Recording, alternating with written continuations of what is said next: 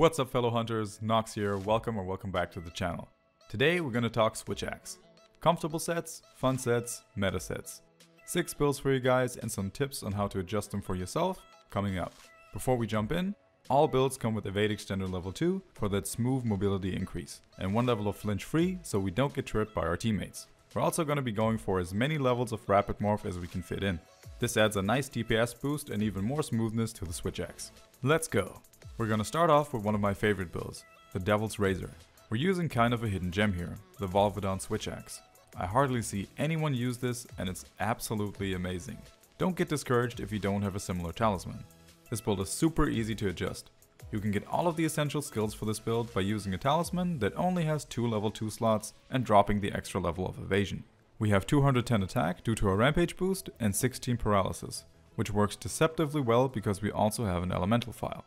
This build will dish out high end damage while at the same time being able to paralyze anything you fight at least twice, and handling super comfortably thanks to full protective polish level 3 along with level 3 speed sharpening, as well as a bunch of extra skills that focus on keeping you in the fight and on the monster.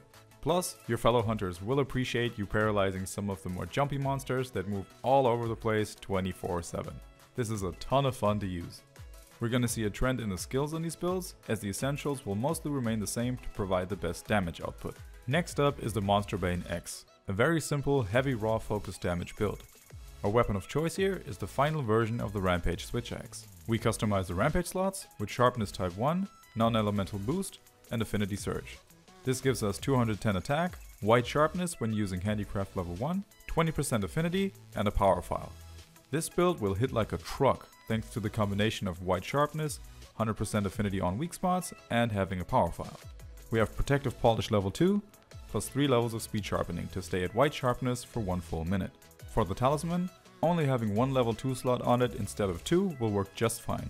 You're only going to lose one level of rapid morph. That said, rapid morph talismans do seem to be quite common, so you might have something similar or even better. And of course, we have the awesome benefit of changing the look of this weapon into whatever we like. I went for the Remobra design because I just love how unique it is. Let me know which layered weapon skin you guys would pick. There are a lot of really nice ones. The Detonator. If you like explosions, this one's for you. This build really surprised me when I ran some tests. We're using the Teostra's Castle. 210 attack, 36 blast, an elemental file, and the Teostra's Soul Rampage skill which boosts blast damage. Plus, we get a free level 2 slot on top. The synergy here is pretty crazy.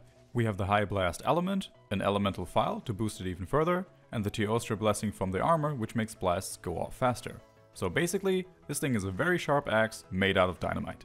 Having that extra level 2 slot on the weapon makes this build even easier to adjust than the last one which used the same talisman. Also making it easy to fit in skills if you choose to switch it up. And gotta hand it to the designers on doing an amazing job on the weapon design here. I love the attention to detail. This one is literally a blast to use. Now we'll get into some super comfortable builds. The Primal Instinct. This one is all about that caveman style raw damage. We're using the Grand Chaos, which has a ridiculous 240 attack, massive green sharpness, minus 7 affinity, a plus 15 defense bonus, a level 1 slot, and an exhaust file with 16 exhaust damage. This thing hits for some nasty numbers, and the exhaust file will allow you to KO monsters if you consistently hit the head. The synergy in this build comes from using the Bludgeoner skill, it gives us a flat 10% increase to our attack while having green sharpness.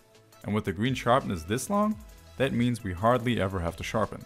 The build does come with speed sharpening level 3 in case we do need it, but I personally go for full stun resistance instead of that. For the talisman, you can use a bludgeoner level 2 with 2 level 2 slots, which is very common.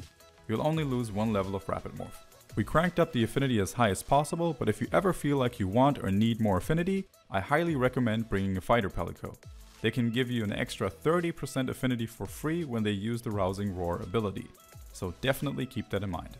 Next on the list is our second super comfy build, the Dragon Song. We're using the Abyssal Gale, which is the final upgrade of the Ibushi Switch Axe. This thing will demolish anything that has a weakness to Dragon Element. But the high raw and the power file here also make it very viable for other monsters. 210 attack, massive blue sharpness, 24 dragon element due to our rampage skill, and a power file. The sharpness on this thing is so long that like the previous build, you can totally drop the speed sharpening for something else if you like. You won't be sharpening much. For example, you could push this to full dragon attack level 5 if you wanted to. Which brings us to our talisman.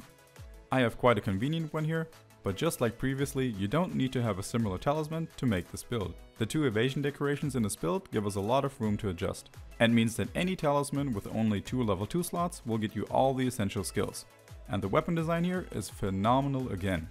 I'm sure some of you already expected this, a build using the Tigrex Switch Axe, the Tiger Claw build. We have a super high 228 attack due to our Rampage skill, natural white sharpness, minus 20% affinity, and an exhaust file with 24 exhaust damage. As usual, Tigrex weapon builds don't need very much explaining. It's raw power and lots of it. This is the one-stop shopping to go hamtown. Very similar to the Monster Bane X, with the difference of having an exhaust file instead of a power file. So keep in mind that we can KO monsters with this thing. For the talisman, we can drop a level of Rapid Morph again if needed, or of course, switch it out for something else entirely if we like. And again, remember to bring a Fighter Palico if you want to boost your affinity by an extra 30%. If you haven't seen the longsword and hammer build video on the channel yet, I highly recommend giving them a watch. You might find something you like. There are so many more great switch axes, like the Nargacuga, the Daora, the Valstrax, or the Narwa switch axe for example. So many that it might call for a second video. Let me know if you guys want to see that happen. If you enjoyed this kind of content and tips on everything Monster Hunter related, hit that subscribe button to stay tuned for more share the information with our fellow hunters, and leave any form of feedback you have for me in the comments below. Thanks again for watching, take care, and I'll catch you guys in the next one.